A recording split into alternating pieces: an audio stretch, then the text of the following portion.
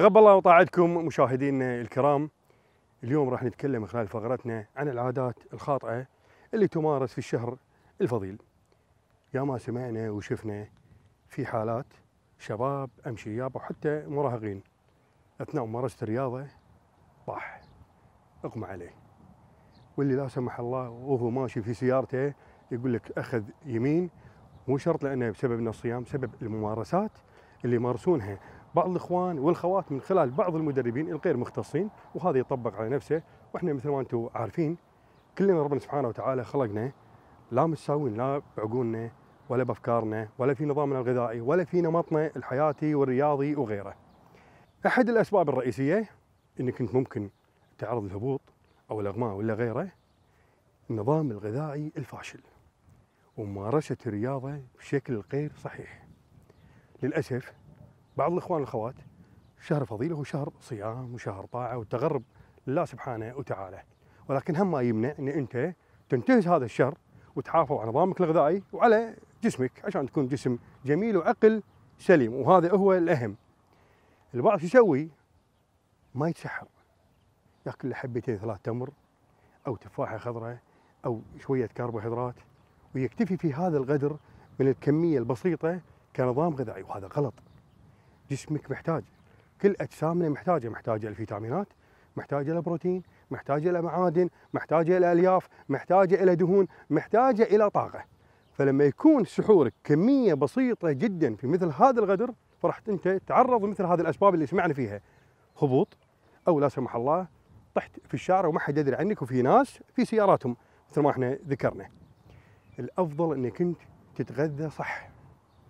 على حسب شنو أنا آكل؟ ممكن البعض يسأل يقول شنو أنا آكل؟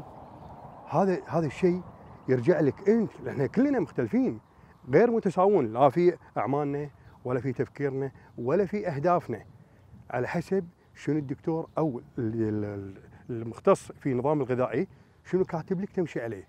ما يصير تأخذ من فلان أو من خلال مواقع التواصل وتطبق على نفسك وهذا غلط. أكل سحورك. تفتح مرة واحدة أكل بحدود. أكل بروتين كافي أكل كربوهيدرات بالكمية الكافية لا تفتح كمية كبيرة وابتعدوا عن السكريات المصنعة والمشروبات الغازيه عشان ما تتعرض لحالات الأغماء والهبوط اللي سمعنا فيها. زين. بعض الأخطاء في ناس يلبس بدلة تخسيس.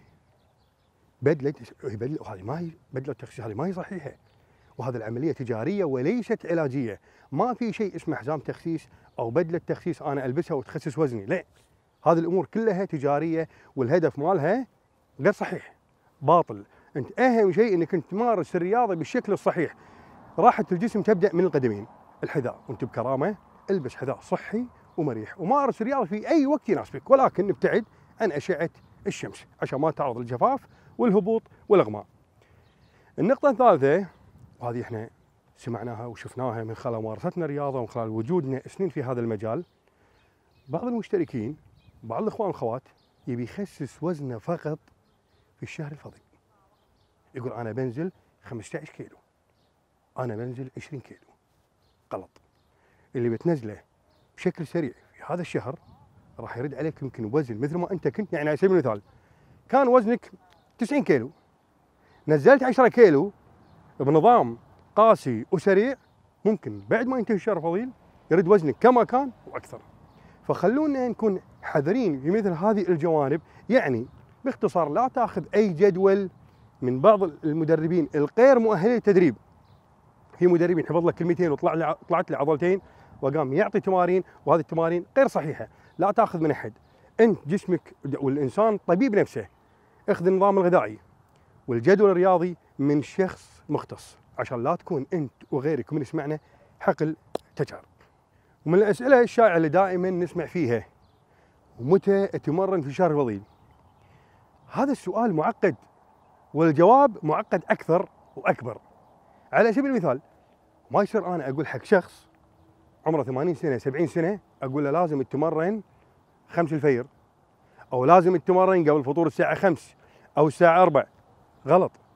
كل إنسان له أهداف على سبيل المثال. إحنا عندنا دوامات. في ناس خلص دواماتهم الساعة 12 في ناس خلص دوام الساعة 1 فعلى أي أساس إن أنت أول ما يخلص دوامك انت بذلت مجهود كبير أثناء عملك. انت قاعد ست سبع ساعات في الدوام تحرك وتصعد وتكتب. في البعض قاعد في مكتبة فإحنا نتكلم بشكل عام. وما يصير انت فوق هالمجهود اللي بذلته في دوامك أول ما تطلع تروح تركض أو تمشى وانت صايم بين قوسين. وهذه مشكلة كبيرة.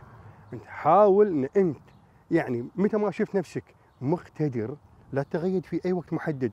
شفت نفسك تقدر تتمرن قبل الفطور؟ تمرن. انت الإنسان طبيب نفسه. شفت نفسك ما تقدر تمرن قبل الفطور؟ لا تضغط على نفسك علشان لا تطيح وفي النهاية ما راح تستفيد. لأن قاعد تضغط نفسك إجباري وهذا غلط. شفت نفسك مقتدر إنك تتمرن بعد الفطور؟ إي نعم تفطر. وقعد لك ساعة ساعتين ريح ومن ثم روح توكل على الله وتمرن سواء كان في النادي أو على طرق المشاط مارس الرياضة اللي تناسبك. لا تضغط على نفسك. هذه الأخطاء اللي من خلال سنين وجودنا وتجاربنا سمعنا وشفنا وايد حالات مروا علينا. نفس السؤال متى اتمرن قبل الفطور أم بعد الفطور؟ الجواب طبق اللي يناسبك لا تضغط على نفسك. هو اختياري وليس إجباري. مقتدر إنك أنت تتمرن قبل الفطور. يعني على سبيل المثال إحنا نتمرن قبل الفطور بساعتين. التمرين ساعة ساعة ونص. خلصنا نص ساعة وصلنا البيت قعدنا تفطرنا والامور طيبة. أحيانا أنا أبذل جهد كبير الصبح ولا شيء أثناء الدوام. أشوف نفسي غير مستطيع. أنا أتكلم عن تجربة شخصية واللي حوالينا شفت نفسي اليوم أنا ما أقدر اتمرن قبل الفطور أريح أقعد مع الأهل أتفطر. خلصت فطوري بعد ساعتين بدلت ورحت النادي وتمرنت والأمور طيبة. وهذا هو الجواب حق الأسئلة اللي إحنا دائما نسمع فيها. وتقبل طاعتكم ونشوفكم على خير في فقرات أفضل وأجمل. مع السلامة.